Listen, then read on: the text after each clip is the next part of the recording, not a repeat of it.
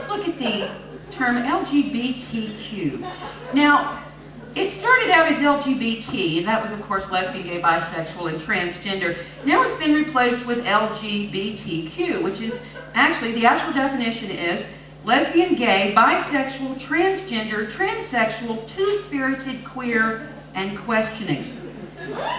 After rejecting my suggestion that we simply call ourselves Up With People, the Secretary of Inclusion at Gay Headquarters in San Francisco sent me the following list of additional groups currently under consideration. They are as follows. Asexuals, eunuchs, cybersexuals, technosexuals,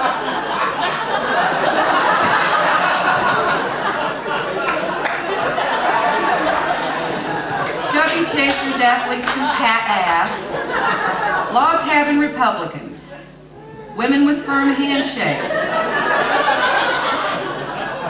men who need a hug, people who attend Star Trek conventions, folks who like to smell shoes, and anyone who enjoyed Lynne Cheney's book. If you have any suggestions of your own or ideas, you should write them down and send them to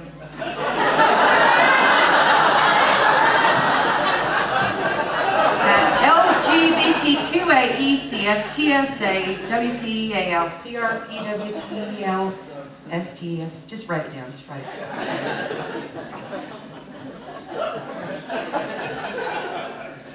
I'm going to give you a minute, just write that down. C-C-C-A-W-C, C-A-W-E-L-C-B.